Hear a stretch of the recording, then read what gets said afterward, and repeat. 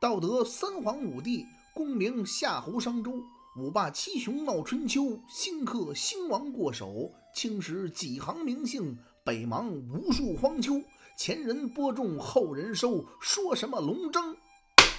虎斗几句残词念罢，书接上文。上文书咱们说了，这乾隆皇帝呀，因为这个草原上阿穆尔萨纳呀带着兵反了，所以说呀，他就责罚了一些相干的大臣。自己的姑爷色不腾巴尔朱尔，因为同情帮助过阿穆尔萨纳，被乾隆皇帝关在了自己的额驸府里啊，闭门思过。额林沁多尔济放跑了阿穆尔萨纳，被这乾隆皇帝一道旨意赐死，三尺白绫在自个儿的王府里啊。自缢了。其实啊，在乾隆皇帝的心里，就连杀身成仁了的班第和鄂荣安，他也是有怨气的。首先呢，他怨这两个人不能够见机行事啊，在这第一时间除掉阿穆尔萨纳。其次呢，他认为这两个人呢死也是白死，就不应该呀城破之后拔剑自刎。如果能啊和这个叛军接洽谈判，有可能还能啊为朝廷争取到啊组织军队杀回去的时间。可是二人呢，哎不见脑子一根筋，犯了愚忠，双双自杀在黑山头。这呀是乾隆皇帝这么想，可是说书的我可不这么看。如果这班第鄂荣安二人呢仓皇逃回了京师。那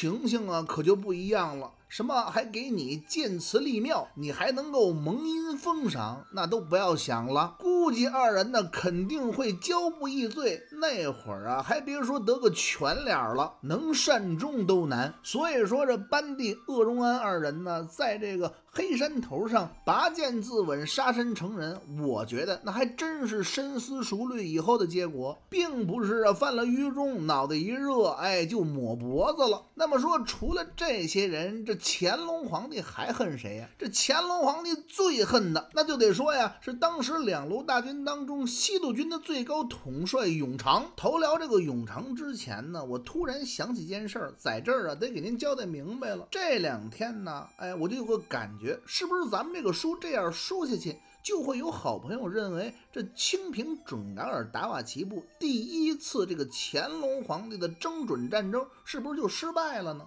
其实不对，这达瓦齐呀，已经逮起来压到了京师，哎，并且呀，通过一次特赦，这乾隆皇帝还把他放了，白白胖胖的封了个亲王，在北京养着呢。咱们现在讲的呀，可是十全武功的第三清平准噶尔的。阿穆尔萨那部，也就是说呀，这阿穆尔萨那的叛乱呢，和第一次征准战争没关系了。对喽，这是二打准噶尔。这一打准噶尔结束之后啊，咱们就已经啊，把这个乾隆皇帝和大清朝廷对这个功臣的封赏介绍过了。该封爵的封爵，是该封王的封王。那会儿啊，实际上咱们就把这个引子已经埋下去了。我不是跟您说了吗？这里边唯独就没有这西路军的总指挥定西将军永长。您看这永长啊，将军之职那可是从一品的大员，从这个官职上讲啊，和北路军的总指挥班第是一个样的。可是呢，咱们书中代言啊，哎，他比这班第小半级，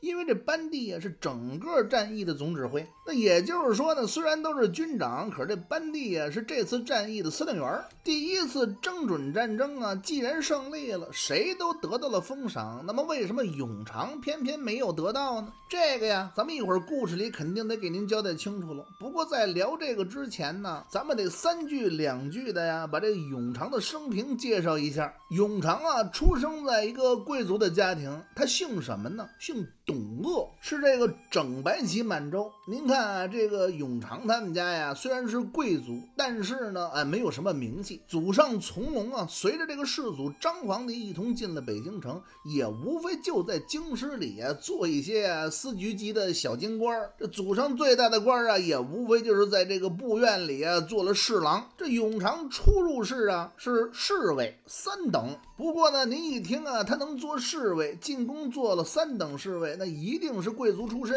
那年啊，正是雍正元年，可是这三等侍卫一干呢，就差点干足了十个年头。到雍正九年的时候啊，才升为二等。从此以后，这永长才算是官运亨通。哎，当年就升为了头等侍卫，不但这侍卫等级是头等，并且呀做了侍卫长，还有了武职，是署理整白旗蒙古副都统。然后在军中啊，就是一级一级的升迁，确实是逐级升迁，没有什么跳跃。到了这个雍正十三年的时候，永长啊做了一个有意思的官儿，哎，他调任了整蓝旗满洲副都统。同年呢，又任了这个直隶马兰口的总兵。哎，这挺有意思，因为我前两天呢还去马兰口来着呢。哪天呢？就是前两天有一天咱们停更，就是那天我就去马兰口、马兰峪、马兰关采风了，看了看这个清东陵，爬了爬明长城。所以说这点挺有意思，也算是咱们和这个永长啊，他有缘吧。到了乾隆年以后啊，这个永长的官啊，还算是步步高升。哎，前后做过这个古北口的提督啊，还是这个镶黄旗满洲的都统。到了这个乾隆十年以后啊，这官儿算是做大了。哎，什么安西提督啊，什么甘肃提督啊。最后啊，还升任了湖广总督，随后啊，就做了陕甘总督，并且加封了太子少保。这一下子呀，就到了这个乾隆二十年议政准噶尔之战，这永长啊，才被授以了定西将军，统领着西路大军。这永长啊，带领着西路大军从哪儿出发呀？在巴里坤，这巴里坤呢，等于是这个清朝在这个新疆的西南路设的一个大本营。从这巴里坤出发呀，经木垒走乌鲁木齐，到得伊犁呀，准备和这个北路大军会合。那会合了吗？会合个屁呀！这永长啊，可跟这个北路大军的班底不一样。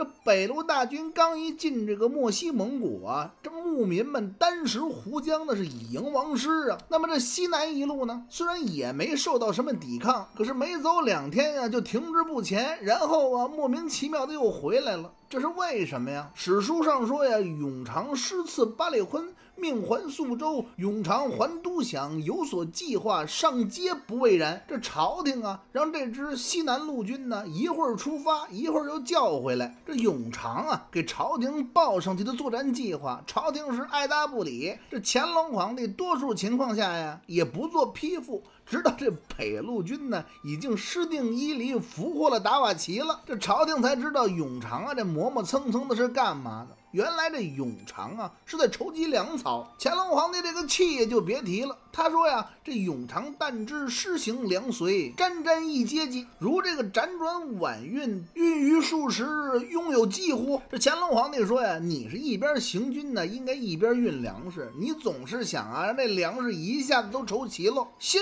是好的呀，这事儿不该这么办，贻误了战机，你担当得起吗？这史书上啊，对这个永长和乾隆皇帝的观点呀。孰对孰错呀？没有表态，但是我倒是有个看法。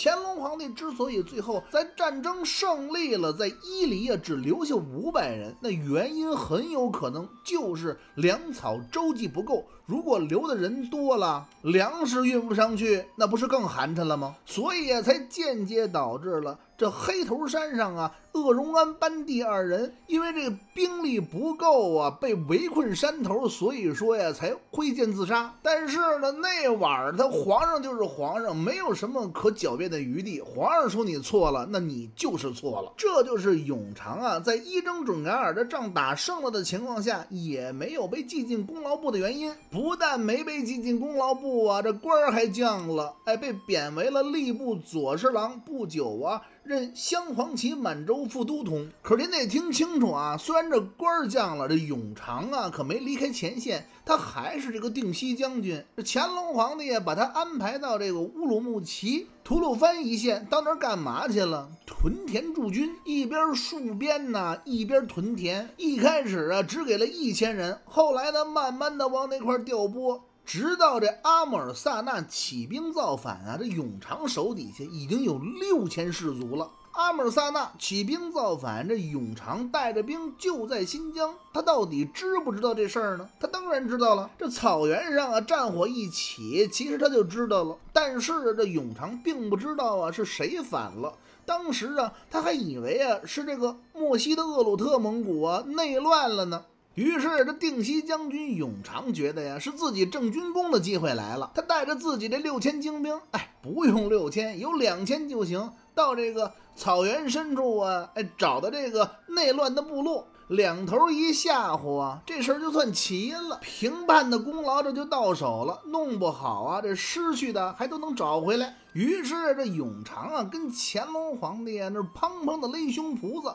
保证说呀，您赶紧给我一道圣旨，我好领着兵啊去这草原平叛。剩下的活啊，您就瞧我的吧。乾隆皇帝接到这奏折之后啊，这高兴就别提了。他这通夸永长，人常说呀，知耻而后勇。你瞧这永长，虽然呢这个前边表现一般，这朝廷呢对他呀也做出批评了，可人家呀这个勇气来了之后啊，山都挡不住。于是这乾隆皇帝呀，就给这个永长下了一道圣旨，说你先去，咱们先给个内大臣的衔儿。等到你奏凯还朝的时候，这功劳簿上少不了你的，那一定是奖励大大的。这事儿啊，要都是按照乾隆皇帝这么想啊，那就天下早就太平了。这永长到底进没进这个草原去平叛啊？没有。因为没过几天啊，草原上就有很多的胎记带着自己的部众啊，上永长这儿避难来了。这稀里糊涂的来到乌鲁木齐的，得有这大几千人。这永长一问才明白，这草原上啊，压根儿就不是啊这厄鲁特人自己的冲突，而是啊正经八百的谋反。北路军的副总指挥乾隆皇帝曾经亲自在避暑山庄召见过的亲王双凤的阿穆尔萨纳，举起了反旗啊，造反了。上他这来避难的，都是草原上和这个阿穆尔萨那不和的胎记，带着自己的部众家人，跑到了乌鲁木齐。永长啊，赶紧找来了自己的齐白官，告诉齐白官呢，咱们先等等吧，先别出兵了，让我看看形势再说。那要是这样的话，这草原上叛乱的那可不是散兵游勇，那是一支劲旅。我这六千人干得过干不过呀？那么就在这会儿，前线是什么情况呢？首先说，这前线班地和鄂荣安呢，那是急需救援，还别说六千人了，就是这永长啊，带着两千铁骑。奔袭到伊犁，也不用到伊犁城下，在半路上啊，可能就碰到了这个班第和鄂荣安，也就把这两位大人呢接回来了。那往更积极方面想呢，如果永长集合好自己手下这六千人，再能利用好啊过来投诚的其他部众太极手底下的士兵，传吧传吧，也能凑够这一万几千骑兵。即便啊没有一万几千，这一万总有吧？那这会儿阿穆尔萨那又是什么情况呢？阿姆尔萨纳手里呀，也无非呀只有个三五千人。有人说不对呀，开始的时候不是说这阿逆利用他手里掌握的韩王小菊花印信，从边疆调回了九千蒙古骑兵吗？嗨！这些个蒙古骑兵啊，到后来听没听他的也在另说，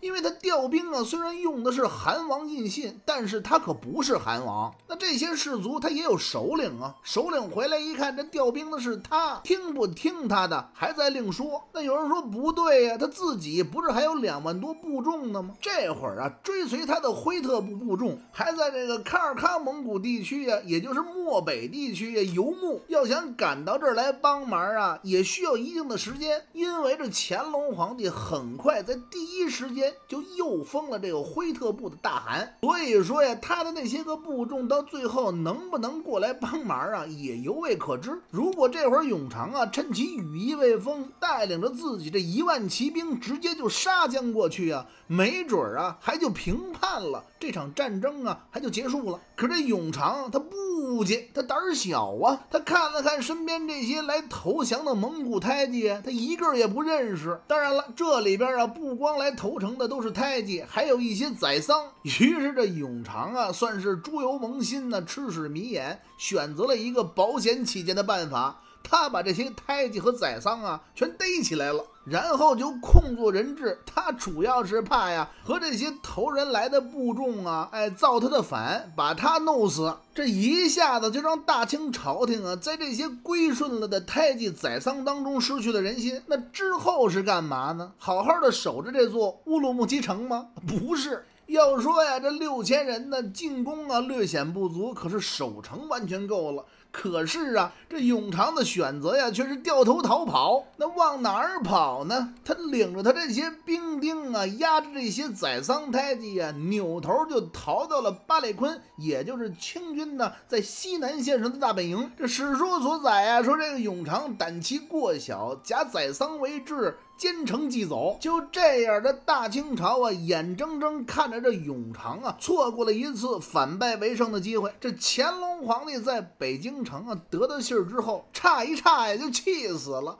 把这养心殿的门关起来呀，手指西方是破口大骂。他骂谁呀？他骂永长啊！不是好你个永长啊！你竟然这个如此气小胆小，是贻误战机！我要不把你逮回来撕吧撕吧，为了英啊！这朕何以振国威？何以振朝纲啊？这乾隆皇帝在北京城一通发火呀，这永长在西北军中啊打没打替分我不知道，我估计肯定是脖子后边嗖嗖的冒凉气。没过几天啊，钦差就到了。一道圣旨，永长的官职爵位也是一撸到底，打了一个囚车呀，就往北北京运。在道上啊，他还跟这个押解自己的官员和这个借差呀打听呢。